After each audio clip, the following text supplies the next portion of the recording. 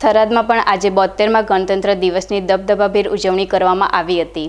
થરાદના નાયબ collector VC બોડાનાના હસ્તે તિરંગાને લહેરાવવામાં આવ્યો હતો. આ પ્રસંગે થરાદના ધારાસભ્ય ગુલાબસિંહ રાજપૂત ખાસ હાજર રહ્યા હતા.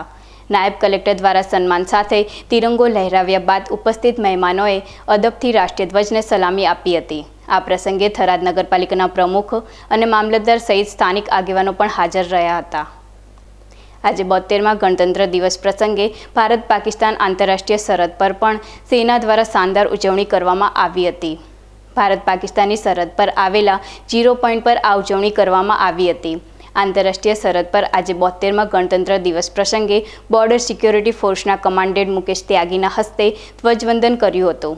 સેનાના જવાનોએ રાષ્ટ્રીય ધ્વજને સલામી આપી હતી. ત્યારબાદ જવાનોને મોં મીઠું કરાવવામાં આવ્યું હતું. સ્વૈચ્છા નેતાઓ